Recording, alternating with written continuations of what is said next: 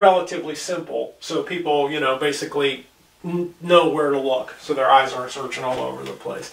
So arranging text elements in blocks is a really, really big thing. Um, now we're going to talk about the different kinds of graphics pages, just briefly. And again, this is giving you a real fast blow through of this stuff. We've had it before, and um, kind of a little bit of a brush up. Now, different kind, different kind of text pages you're going to run into. There's a couple of them. There's a scroll. There's a crawl. Uh, and there's one called the Frame Store. And there's another one called build. And there's a couple little quirky ones, okay? And we'll talk about those later. First one we're going to talk about is a scroll. So the scroll basically, a scroll page, if people are asking for that, here's your screen. They're asking for text elements to come up and move up like credits on a movie. End credits on a movie, we all know what that looks like. So that's basically what's happening here. The text is just moving in a direction and being replaced by other text as it goes up. That's pretty simple. Now the next one is a crawl.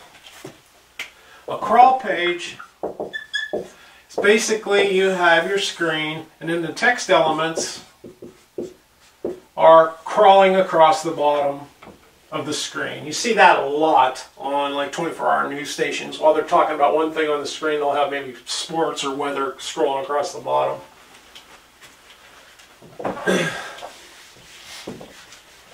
now, the one after that is kind of different people call it different things, but a Framestore page is basically a still image of an object or a person. It's basically a freeze frame. And sometimes text is put over that. Okay? The act of putting text over top of a freeze frame or any other video, it's also called keying it. So if somebody says, I want you to key that text element over that live video, what they're asking you to do is put it over top of a piece of live video or frozen video or whatever. Okay, now the next one is over here is build. It's kind of like this. Here's your screen, and you'll have a text element come up here, and it'll pop up, and then while it stays up, text element 2 will come up. Then, uh, then text 3 will come up.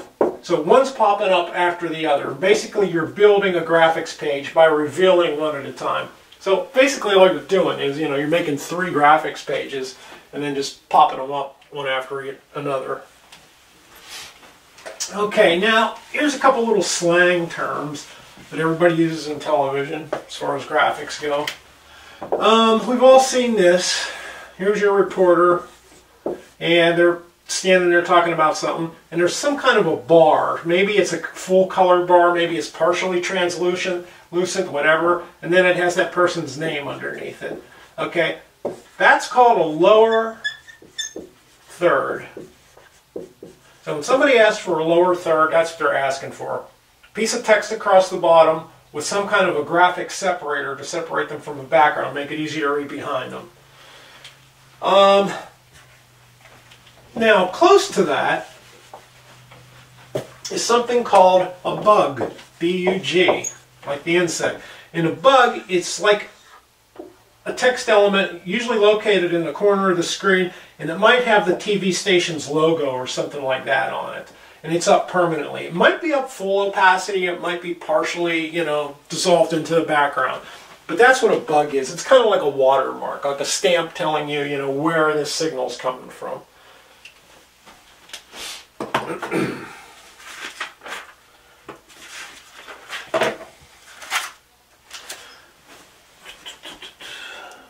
Give me a second here. And that's pretty much, I think, for this little bit of graphics review stuff, all we really had to do. Um, so I'm pretty happy with that. That went pretty fast. Now, your project, here's what we're going to do. This is what I'm thinking about doing. And if you guys hate it, hate it, hate it, you know, let me know. I'm going to give you my phone number up here too. So sometimes it's just easier to phone, make a phone call and have an actual conversation than constantly texting or emailing back and forth.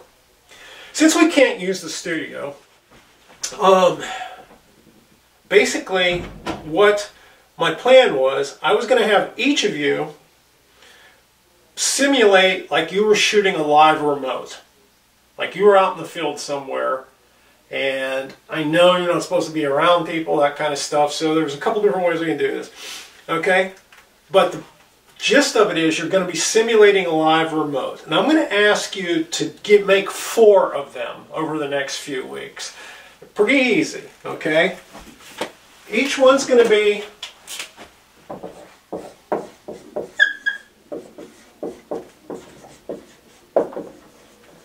Each one's going to be 90 seconds. Okay, 90 seconds long. And a news package, in case you need refreshed on that, is basically a pre-recorded portion that we would insert into a live switch thing. And it's somebody, they shot it out in the field and they edited it down to a pre-recorded thing. Now, I don't know what you guys have to edit on or what you have to shoot on, but I'm going to make this simple enough that if you have nothing, you can do it probably on your phone.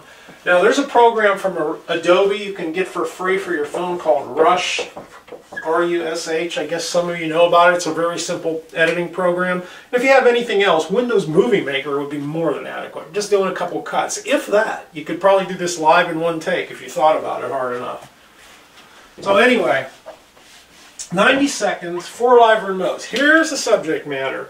The subject matter is going to be about the coronavirus and how it's affecting your life. So, subject one, the first report, is about safety.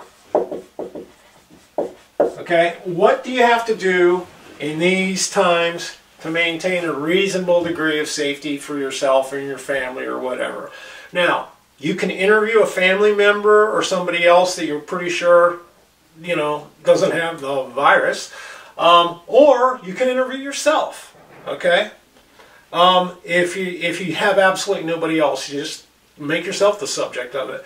So you want to address safety concerns. First, state what the problem is, and maybe how widespread it is, and what you can do to make it less dangerous, and then try to end with something positive, and end each one of those segments with a toss back to the studio, you know, a back to you kind of thing.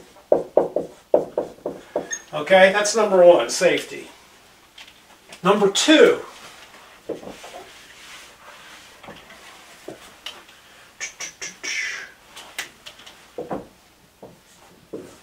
is food and other items.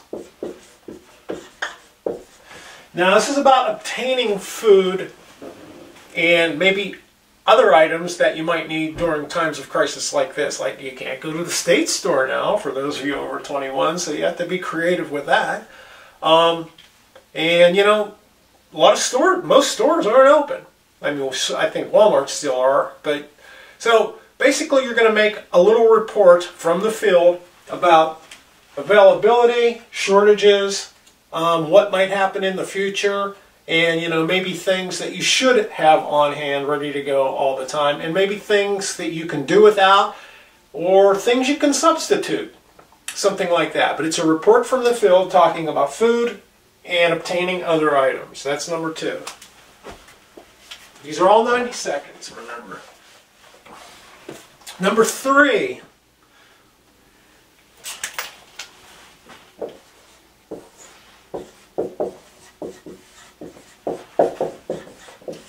adjusting to our new life. So basically, this is a you know a personal kind of um, kind of um, news package that you're finding out how people are making adjustments to the way they socialize or maybe you know uh, work, relax, have fun, whatever. So basically how we've made adjustments to this new way of living at this point in time. Um, this one could be a lot of fun, okay? So basically, I would kind of like you guys to all start them with, you know, hi, I'm blah, blah, blah for WCCC TV1 News, that kind of deal.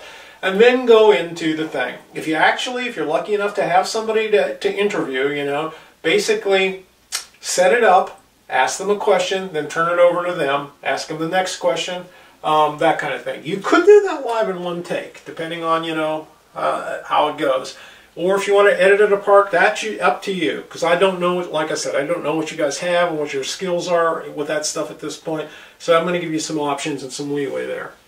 All right, so number three, adjusting to our new life. Yeah. Never thought I'd be doing this from home. Anyway, number four. Now remember again, these are all 90 second news packages.